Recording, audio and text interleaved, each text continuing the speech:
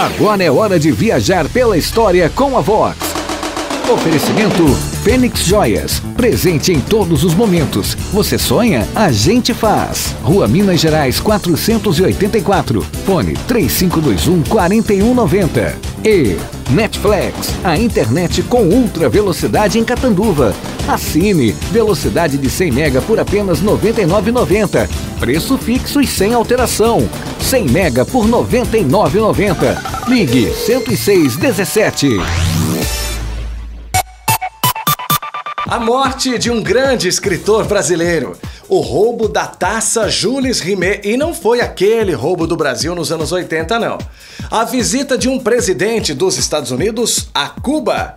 Agora, no giro por esse dia, no passado. Aperte os cintos.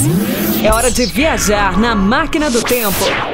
Vox Graciliano Ramos, um dos grandes escritores brasileiros, nascido na cidade de Quebrângulo, no sertão de Alagoas, ele se mudou para Palmeira dos Índios, onde chegou até a ser prefeito, mas acabou por renunciar ao cargo. Dos relatórios que ele escreveu quando era prefeito, Graciliano Ramos lançou o livro Caetés. Pouco depois, escreveu São Bernardo, que acabou depois adaptado ao cinema. Graciliano Ramos foi preso pelo governo de Getúlio Vargas nos anos de 1930 sob suspeita de participação na intentona comunista. Os sofrimentos na prisão estão em outro livro dele, Memórias do Cárcere, um dos mais famosos, aliás. Graciliano Ramos morria em 20 de março de 1953, vítima de câncer de pulmão aos 60 anos de idade. Relembramos hoje a morte dele há 66 anos. Taça Jules Rimet, o troféu confeccionado pela FIFA ainda antes da primeira Copa do Mundo, né? Lá nos anos 1930, para a seleção campeã da Copa do Mundo de Futebol. O Brasil ficou com a posse definitiva do troféu por ter sido campeão três vezes, mas a taça foi roubada da sede da CBF nos anos 1980, né? Só que antes disso, a Jules Rimet já tinha sido roubada e foi em Londres, onde estava em exposição, já que a Inglaterra seria sede da Copa do Mundo naquele ano de 66. Ela foi roubada e encontrada sete dias depois por um cachorrinho da raça Collie chamado Pickles, que enquanto passeava com seu dono farejou um embrulho onde estava a taça.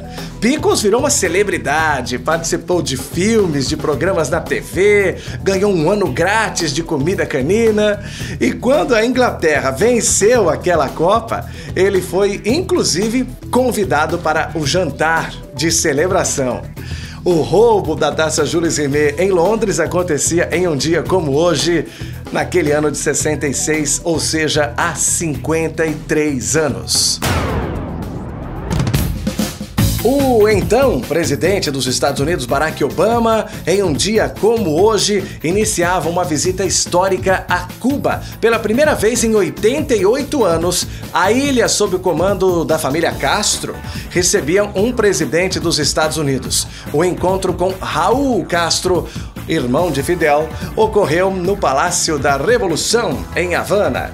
A visita a Cuba era impensável até então, desde a Revolução Cubana em 1959, por um presidente americano. O encontro histórico acontecia em 2016, há três anos.